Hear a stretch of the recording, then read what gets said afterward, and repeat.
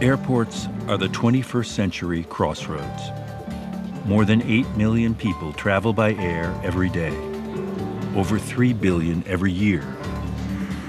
We live in a time when air travel is available to almost everyone on the planet. Travel on this scale happened because of one thing the jet airplane. Jets take off every second of every day. Some have two engines, some have four. They come from Boeing, Airbus, Embraer, Bombardier, and others. But large or small, no matter the airline, almost all share a shape. The wings swept back from the fuselage with the jet engines suspended beneath. It is a design so perfect that it has barely changed in over 60 years for all of the jet age. How this modern jetliner came to be is the story of three Boeing jets and secrets discovered in a German forest at the close of World War II.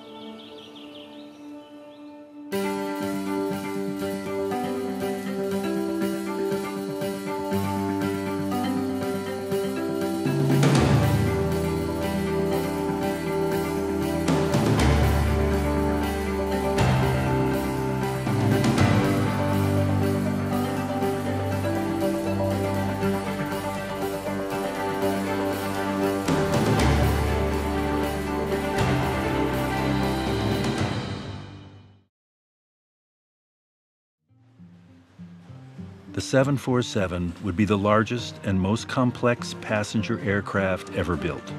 In size and ambition, it now rivaled even the SST. But the U.S. taxpayer was underwriting the development of the SST.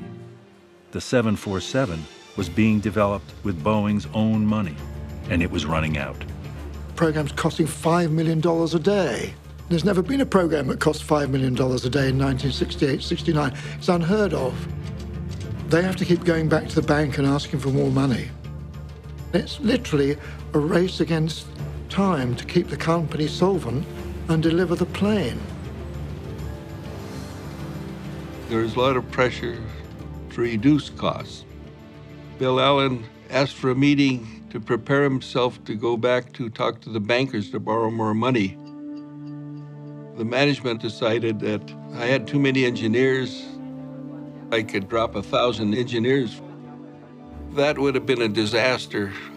I couldn't get rid of a thousand engineers. I needed 800 more. There are times when you have to step up and try and hit the ball no matter what the pitch looks like. I had to make a decision. Do I tell the truth or do I uh, cover it up? I told the truth, figuring this was my last day at Boeing. It was not Joe Sutter's last day at Boeing, and he kept his engineers. But their deadline remained the same to get a 747 airborne in less than four years.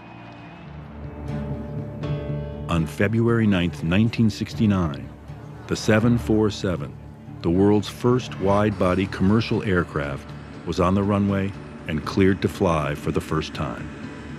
No one had seen an airline of this size leave the ground. Every airplane builder will tell you that however confident they are, when the tire leaves the tarmac is the real test. It was common to read in publications, I don't believe you can get that big an airplane in the air. it overwhelmed people, the size of it. There was a huge turnout. Press from all over the world, airline customers from all over the world. They're waiting to see the first flight of this incredible new airplane. Brien Wygle, Jack Waddell, and Jesse Wallick were the crew chosen to fly the 747. The three of us that made that first flight, we knew it was a momentous moment and felt the responsibility of you know, getting it right. there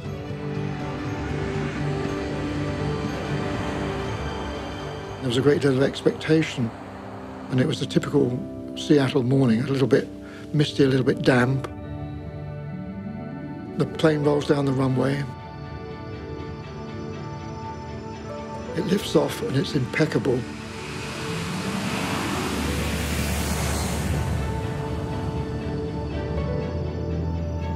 I think the relief of getting it in the air after all the struggles that got on, we were actually airborne, was a great moment. The three of us at that moment felt a great wave of exultation. It's a very uh, easily flyable airplane, though, and it doesn't want to Dutch roll. Everything uh, looks very normal on the right side, Jack. Beautiful. When you spend three years working like a dog to get something done and you see it's successful, you, you get a sense of accomplishment and pride. I felt the gang of guys that worked for me had really done a hell of a good job, so I felt pretty good.